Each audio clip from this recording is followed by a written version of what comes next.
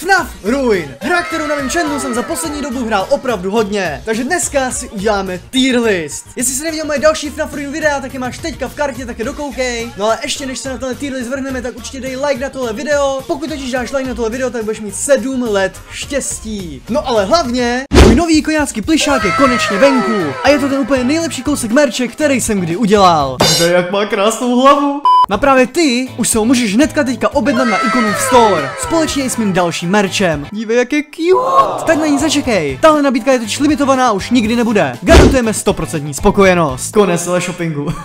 máme tady nějaký custom tier list tady, který jsem si trošku upravil, ať to máme v češtině. A hlavně všechny charaktery, které nejsou ruin, tak už jsem tady krásně dal takhle dolů. Nemáme to tady v nějakém pořadí, jdeme to prostě tady nasázet tak, jak to je. Takže první postava je ta speciální verze nebo speciální oblek, ten lví oblek. Jak vidím, tak tady máme i toho celého mimika v tom speciálním obleku a tady máme i takhle ty všechny jeho obleky zvlášť. Takže já na všechny ty obleky takhle asi dám, že nic moc. Nic extra, jo, prostě nemají žádný lore. Neřekl bych, že úplně hrozný, protože souvisí stále s mimikem. Nevíme vůbec, proč tam jsou, nevíme, jestli si je vůbec dává na sebe, když vlastně ta jeho finální verze je kombo všech těch obleků, jo, takže možná nějak roztrhal. Takže tyhle obleky tam jsou jenom tak jako pohozený a nejsou vlastně nějak ani extrémně v té hře využitý. Samozřejmě souvisí s mimikem, takže nemůžeme dát hrozný. Na druhou stranu tady máme Roxy, je z té základní čtyřky nejlepší animatronik v Ruin. Jestli Glamrock Freddy byl pro Gregorio něco jako mentor, něco jako kámoš, chábr, na kterého jsem mohl spolehnout, tak pro Kesy to byla určitě Roxy, protože víte,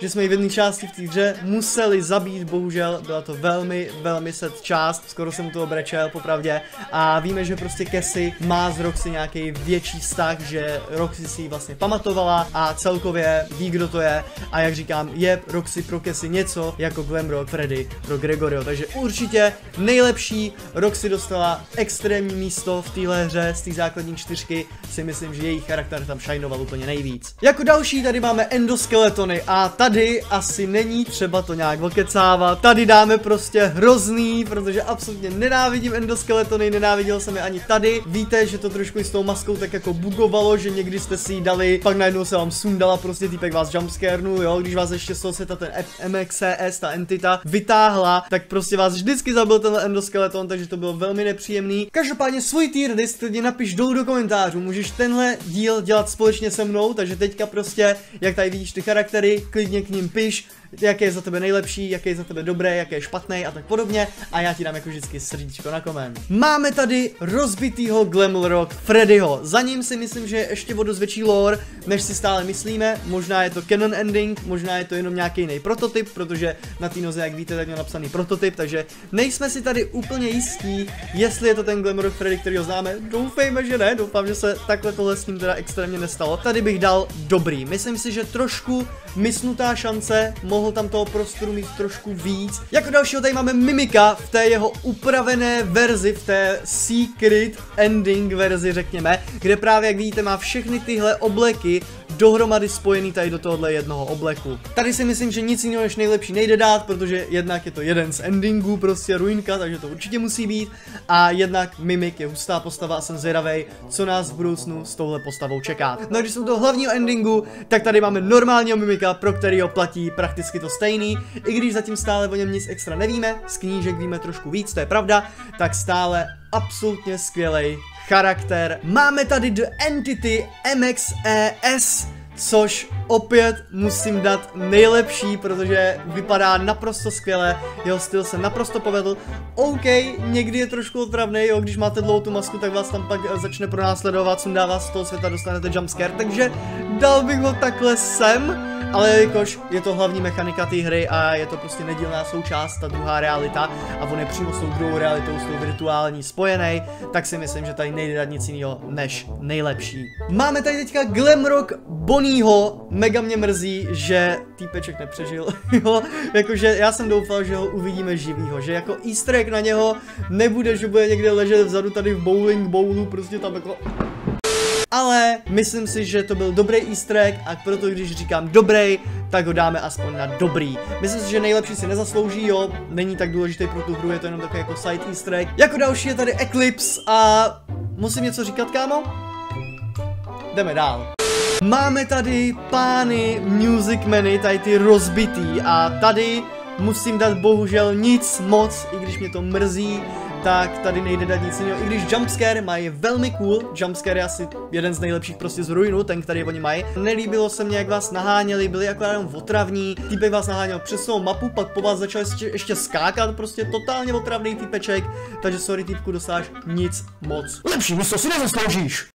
Máme tady Glam Rock Chiku rozbitou a tady mám mega dilema, protože líbilo se mně, že tam měla docela dost prostoru v té hře, popravdě už na začátku vás vlastně jumpscare v tom úvodu a potom vlastně stejně měli ještě i v jedné další pasáži a myslím, že ještě v další pasáži. Byla tam docela často, to je pravda, ale já nevím, tohle je fakt, tohle je fakt tak jako mezi, ale v dobrých máme méně charakterů, takže dáme jenom do dobrý, dáme to jenom takhle. A víš co, dám ti nejlepší, OK, necháme to takhle. Máme tady Montyho. Monty na začátku vám dal úplně skvělý jumpscare v tom intru, to musím jako ocenit, ale jinak celkově on byl vlastně jenom v té první části a potom ne, on byl v té nejvíc otravný. Jak jste nahoře byli na tom lešení v tom Monty Golfu, jak tam byl ten boss fight s tím bucketem, že jo, v originálním FNAFku. Tak sorry, ale já bych ho dal až do hroznýho. Víte, že já Montyho hrozně nemám rád. On je prostě takový bručon, naegovaný prostě. Jako pro tu hru je jeho charakter důležitý, protože díky němu je tam ta zápletka s tím Glamrock Bonym a tak podobně. Ale dobře, dávám ti nic moc, chlape. Ale jenom, že seš to ty, jenom, že seš pro příběh důležitý, ale nemám rád Montyho. No a jestli ty nechceš být zlej na mě, tak hnedka teďka dej odběr na tenhle channel, abys byl u všech mých videí jako první. Máme tady Maskbota. OK. Jak jsem nenáviděl Mapbota, jo, ten by dostal tady takhle hrozný, tak Maskbot mně to tam sedělo, jo, líbilo se mně, že vlastně to udělal jako takovou referenci na toho Mapbota, jak vlastně všechny, všichni lidi ho nenáviděli, jak vlastně jumpscareoval úplně a takhle, tak tohle udělal jako takovou referenci a takový jako funny joke na lidi, takže já bych tady dal dobrý. Jako další tady máme původní model Entity MXES toho králíka, jak jsem vám ukazoval v jednom hackovacím videu, jestli jste neviděli, tady kartička. A tohle je zajímavý, že to tady dali.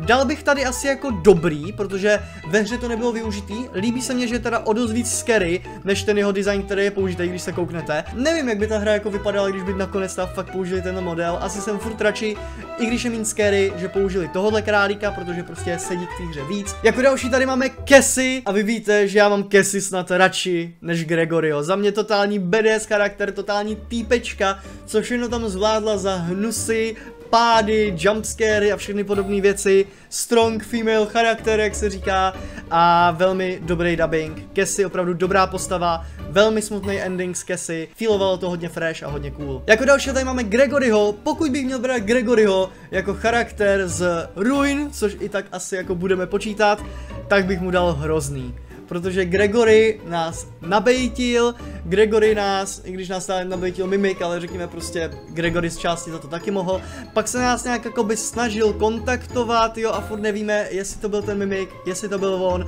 jestli ten výtah on zhodil s náma, jestli jo, tak je to prostě šmejt, sorry kámo. Prostě Gregory reálně, jestli to fakt true, tak zabil Kesy. A to se nedělá, chlape.